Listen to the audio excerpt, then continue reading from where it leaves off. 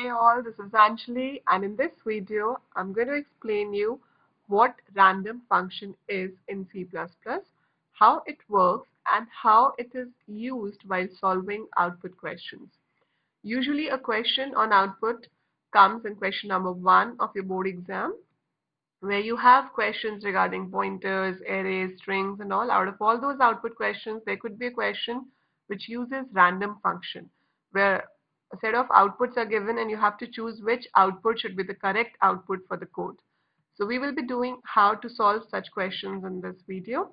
First of all, we will start with the working of random function, like how random function works. So to use random function, the first thing is I must include stdlib.h. This is the standard library in which random function is available. Now to use random function, we write random and in brackets n. So if I write random n, the system generates a random number between 0 to n minus 1. So if I have written random 5, it will give me any number from 0 to 4. We use a function randomize so that every time you run your program, you should get a different set of random numbers. The random numbers should not be repeated till the time possible. For example, if I have to generate a number from 0 to 10, I should write random 11. So it should give me any random number from 0 to 10 that is n minus 1. So to have a random number from 0 to 4 I should write random 5. But what if I want a random number from 6 to 10? It is not starting from 0. I want a random number from 6 to 10. So for that I can write random 5 which gives me 0 to 4 plus 6. Now the minimum value of random 5 is 0 and the maximum value is 4. If I add 6, it's added to both minimum, minimum and maximum value. So 0 plus 6 gives me 6 and 4 plus 6 gives me 10. So I get a value which is between 6 to 10. That's how random function works. Like if using random 4 gives me 0 or 1 or 2 or 3, any of these four numbers it could give me. But if I write random 4 plus 5, so if I add 5 to the minimum and the maximum range, I could get any of these four numbers. I could get 5, 6, 7 or 8. So that's how random function works. So I hope it's clear how random function is generating a number and how we can get a range which is not starting from 0 by adding some number to it. So if this thing is clear, you should go forward to use random function in the output questions. Now this is the first sample question where we have stdlib included, we have randomize here, then x is 125, y is 99. A is calculated as random 3 plus 4. Now random 3 would give me 0, 1 or 2. If I add 4 to that, I'll get 4, 5 or 6. That means A can have 4, 5 or 6. Then B is random 2 plus 2. So random 2 gives me 0 or 1. If I add 2 to that, I get 2 or 3.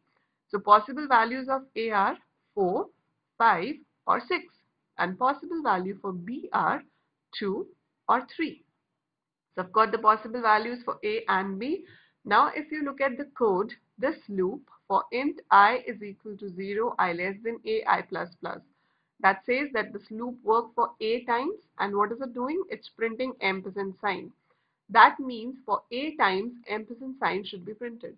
So ampersand sign should come for either 4 times or 5 times or 6 times since A can be any of these three values. But if I check the outputs given over here, in the first output I have only two ampersand signs means it cannot be one of the possible outputs. Similarly option 2 is also rejected so these two are out of the question.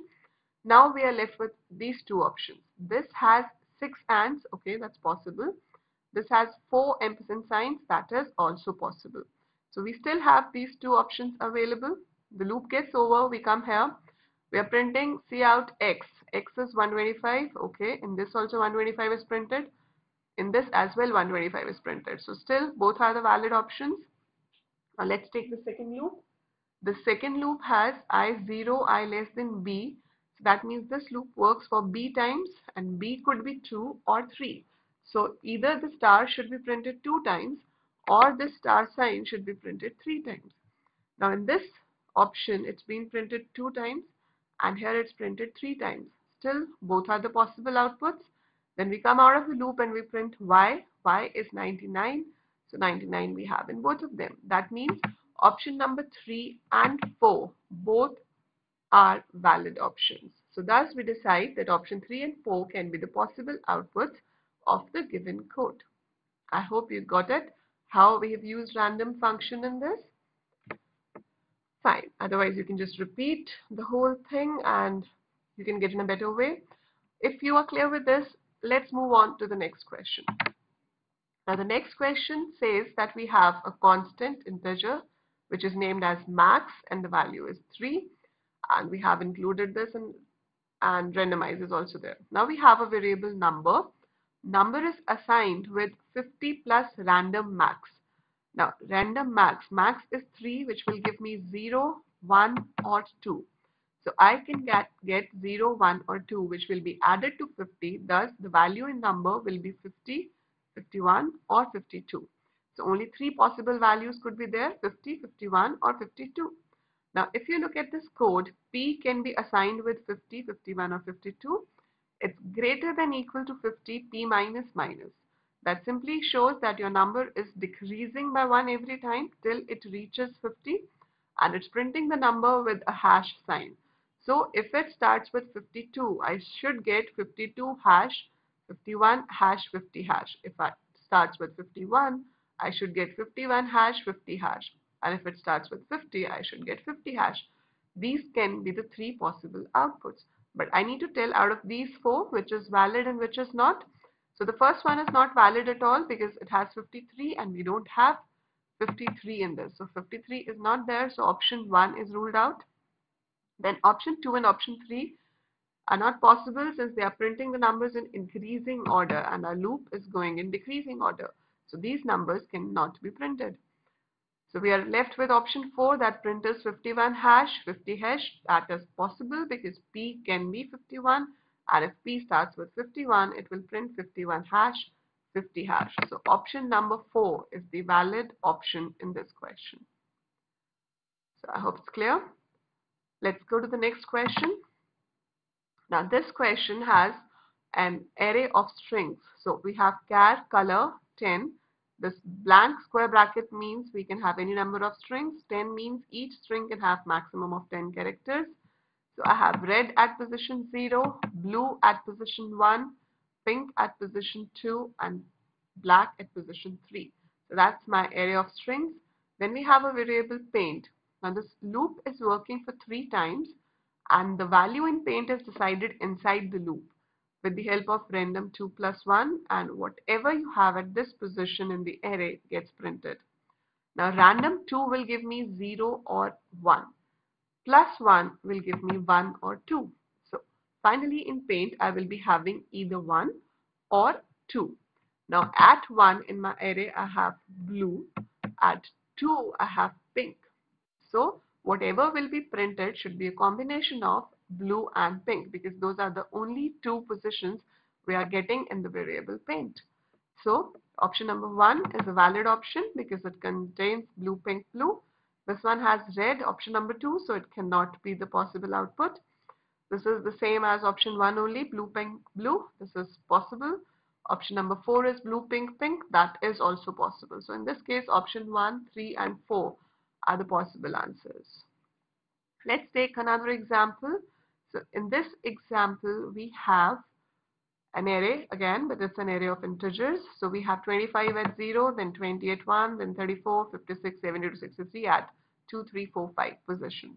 Now we have this variable my score, which is assigned score 2 plus random 2. Means I have to pick up a value from the array score and at which position we have to pick it from 2 plus random 2. Random 2 is going to give you 0 or 1 0 or 1 plus 2 gives you 2 or 3. So that means either the element from position 2 will be picked or the element from position 3 will be picked. So at position 2 I have 34, at position 3 I have 56 and in the possible outputs 34 is there. So option number 2 is the valid option. So you can see this is very simple. You just need to find out the value which random function might give accordingly see which output could be the possible output output. So less efforts and the two marks for the question are yours. Okay, for this video, this is our last question which we're going to discuss for random functions. So in this you could see num is 14 and here random num plus 7. That means random 14 will give me any number from 0 to 13 plus 7 will give me any number from 7 to 20. I have a number from 7 to 20 in this. Now the loop starts from 1 and it will go up to that number and we're just printing those numbers. Option 1 is not possible since it finishes at 3. This finishes at 5. Option number 3 that's also not possible because we are starting from 7. So the random number cannot have a value less than 7 since plus 7 is there. So any value which stops before 7 is invalid. 3, 5, 4. So 1, 3, 4 are invalid. Only option number 2 is possible. So we have to finish at 7, 8, 9, 10 or up to 20, any of these numbers. So 11 is one of this number in the range. That's why we can get numbers from 1 to 11. So that's how option 2 is a valid option in this example. I hope you understood how random function gives or generates a value and how you can predict that what could be the possible output of the given code. In case of any doubt, do write in the comment section. I'll get back to you. And if you found this video useful, you could understood anything out of it, do like the video, share it with your classmates, share with your friends, and yes, don't forget to subscribe the channel. Thank you.